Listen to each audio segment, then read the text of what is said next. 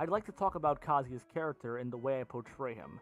Now, there are a lot of people I am sure who hate the way I go about his character, but you gotta think what I'm trying to go for here. And hopefully you understand. Kazuya is not just some character who goes around and says, Die, die, die, destroy, destroy, destroy all the time. He is not just a flat out evil prick, at least to me. In the original Tekken story, Kazuya sure was evil because of the devil gene, but also has his lighter moments until that red eye of his starts glowing. Kazuya has heart, and that's what a lot of people look past. They always seem to just look over the fact that Kazuya has a heart, and he also has a lighter side. Kazuya having a lighter side is what made him fall in love with June. If you watch the Tekken game recap from Tekken 6's scenario campaign, that is why I make it to where Kazuya and June are married.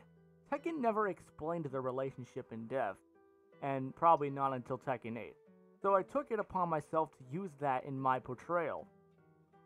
Kazuya in the original timeline of Tekken is a badass, you know, making a deal with the devil to gain power while sacrificing his soul.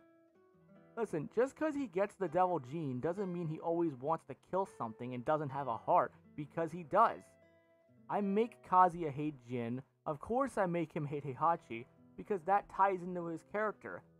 And Kazuya loving June also ties into his character, because that's how it was supposed to be in the original story. But again, they never went in depth with it.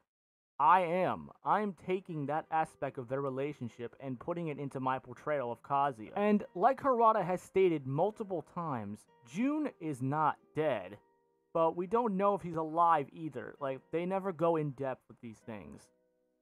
So, for those people who think that June is dead, confirmed that's not true. She is MIA, missing in action. And I feel she is going to play a very important role in Tekken 8.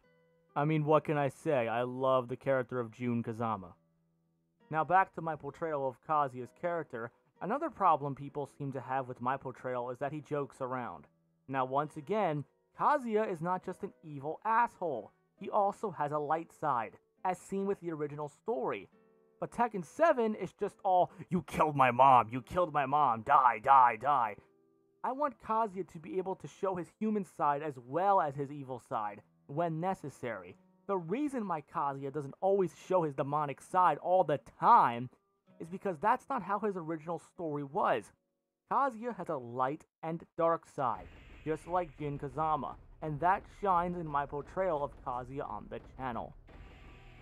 I really hope you guys understand me on this because I prefer the original Tekken story of Kazuya's character and not the stupid Tekken 7 retcon, you know, putting Kazumi in there and ruin the whole original story up.